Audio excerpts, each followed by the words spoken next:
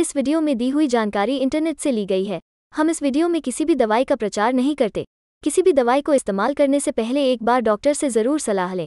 अगर आप इस वीडियो को देखकर किसी दवा का उपयोग करते हैं और आपको कोई साइड इफ़ेक्ट होता है तो उसमें हमारी कोई ज़िम्मेदारी नहीं होगी।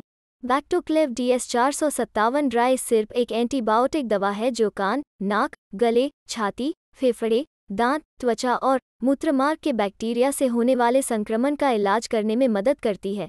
यह अन्य चिकित्साओं के प्रति प्रतिरोधी बैक्टीरिया को मारने में सक्षम है और इस प्रकार ट्यूबरक्लोसिस के इलाज में भी मदद करता है, जो अन्य उपचारों के लिए प्रतिरोधक है।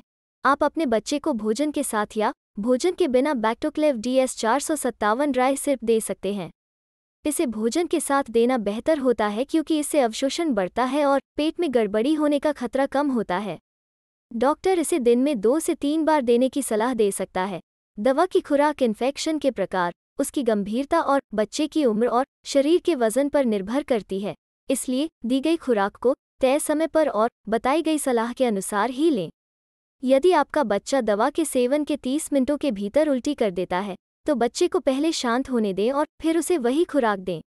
अगर अगली खुराक का समय हो गया है तो डबल डोज ना लें। बैक्टोक्लेव डी एस चार सौ सत्तावन ड्राई सिर्प के कारण उल्टी, डायरिया, यानी कि दस्त, मिचली आना पेट में दर्द और एलर्जी हो सकते हैं।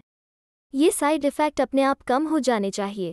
लेकिन, यदि ये प्रभाव बने रहते हैं और आपके बच्चे को परेशान करते हैं तो देर किए बिना अपने बच्चे के डॉक्टर से परामर्श करें। अपने बच्चे का पूरा मेडिकल इतिहास डॉक्टर के साथ शेयर करें, जिसमें एलर्जी, हृदय की समस्या, रक्त संबंधी विकार जन्म दोष, एयरवे ऑब्स्ट्रक्शन, फेफड़ों की विसंगति गेस्ट्रोइंटेस्टिनल समस्या, त्वचा विकार, लिवर और किडनी की खराबियाँ शामिल है। यह जानकारी डॉक्टर को खुराक में बदलाव करने और आपके बच्चे के समग्र इलाज की योजना बनाने में मदद करेगी। वीडियो को पूरा देखने के लिए धन्यवाद। अगर आपको वीडियो अच्छी लगी हो तो वीडियो को लाइक करें और साथ ही हमारे चैनल को सब्सक्राइब करके नोटिफिकेशन बेल आइकॉन पर क्लिक करें और ऑल नोटिफिकेशन को क्लिक करें। धन्यवाद।